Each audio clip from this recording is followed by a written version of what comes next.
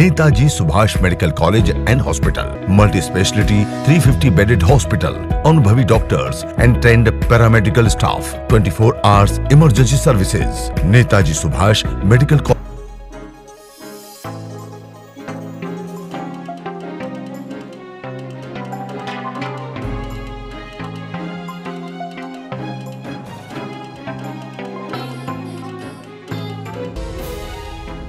कृषि बिल जो आया है उसको देखते हुए हम लोगों का साफ़ तौर पर मानना है कि जो जो कृषि बिल है वो काला कानून।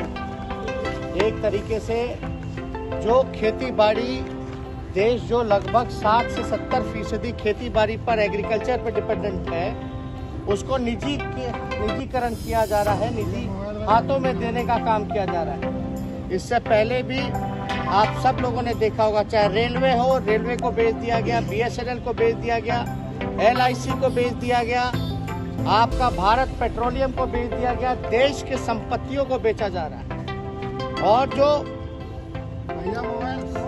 हो गया।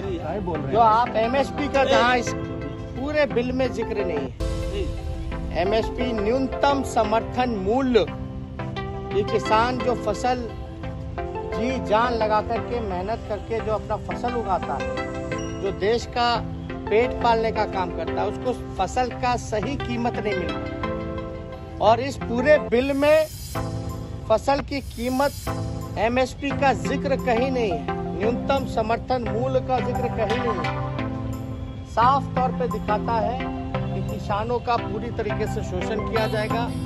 हमारे देश के किसान पहले से ही कमज़ोर होते चले गए हैं। बड़ी संख्या में आत्मदाह करते हैं, कर्ज लेकर के काम करते हैं, और उनको जो है सही कीमत जो है वो नहीं मिल पाती है फ़सलों की, उनकी मेहनत की, जो देश का पेट पालने का काम करते हैं। देश का नारा था जय जवान, जय किसान। आज पूरी तरीके से तानाशाह तरीके से मौजूदा सरकार जो है, किसानों पर, नौजवानों पर नौजवान बेरोजगार हो चुका है, कोई काम नहीं।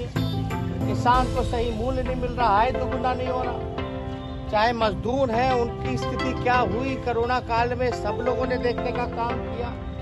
तो हर जगह जो है, हर कोई, चाहे छोटे मोटे व्यवसायी, हर सेक्टर जो है ये सरकार ने तबाह किया। बड़े जोश खरोश के साथ ये कानून लाया गया था। नोटबंदी का जीएसटी का उससे देश की अर्थव्यवस्था कैसे चरमरा सी गई, ये सब लोगों ने देखा। तो हमारा तो साफ़ तौर पे ये कहना है कि ये मौजूदा जो सरकार है, ये पूरी तरीके से पूंजीपतियों के हाथों में है। और हम लोग जो है, अन्नदाता के साथ डटे हुए हैं, खड़े हैं, और पूरा जो समर्थन राष्ट्रीय जनता दल या महागठबंधन के सभी पार्टियों का हमारा किसानों का आंदोलन के साथ है। भारत बंद करने की भी बात कही गई है। आठ तारीख को उसमें भी हम सभी लोगों का समर्थन करेंगे दूसरी बात, सब लोग, हम लोग यहाँ आज महात्मा गांधी जी के मूर्ति के सामने खड़े हैं।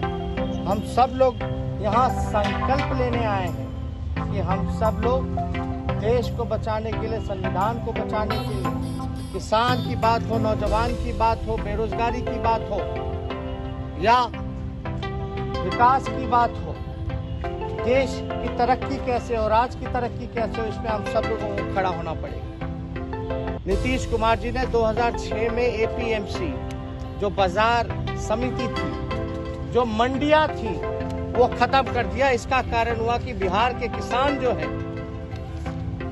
बिचौलियों के हाथ में आ गए। और पूरी तरीके से उनका शोषण हुआ और सब तरीके से जो है बिहार के किसान किसानी छोड़ करके मजदूर ही करने लगे। और आज ये स्थिति आ गई कि बड़ी संख्या में जो लोग हैं, घर से पलायन करते हैं। तो इन सारे विषयों को लेकर के आज हम लोग सब लोग यहाँ हम लोग संकल्पित हों। संकल्प ले कि जो मौजूदा जो सरकार है, तात्काल हमारी मांग रहेगी कि पार्लियामेंट का विशेष सत्र बुला करके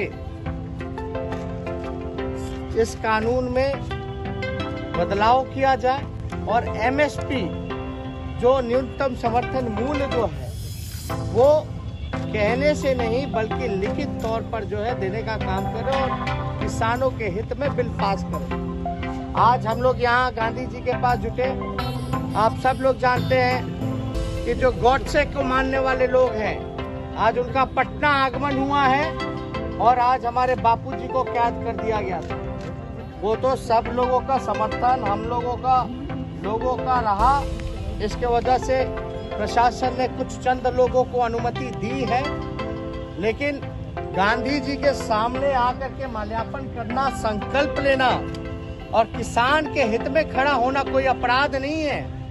किसानों का आय दुगुना हो, उसके लिए आप खड़े हैं। किसान का हित यानी देश का हित। तो हमको लगता है कि हम सभा कर नहीं कौन सी सभा है आपको तो किया गया। पढ़ेंगे और पढ़ेंगे दोहराएँगे सभी लोगों की अपनी सब तो क्रिकेट तो खेल ही रहा है यह समस्या है। आप सब लोग जानते हैं। सब लोगों पर दबाव है। तो हम लोग तो निष्पक्ष लोग हैं न्याय के साथ खड़े रहते हैं सबको सहयोग करते हैं। तो हम लोग शांतिपूर्वक ढंग से हम सब लोग चाहेंगे कि संकल्प हम पढ़ेंगे उसको आप लोग जो है दोहराने का काम करें।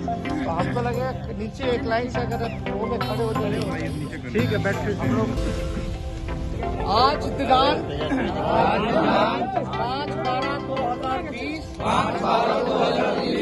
पटना के ऐतिहासिक गांधी मैदान।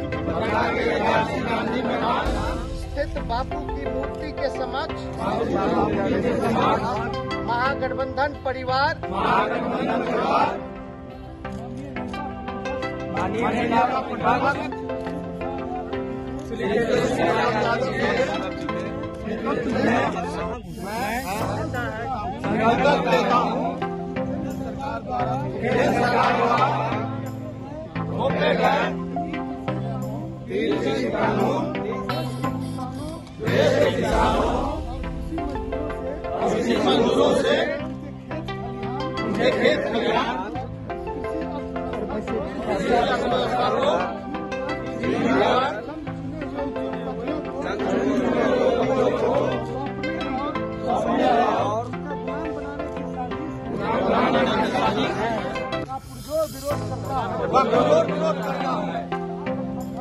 मज़बूत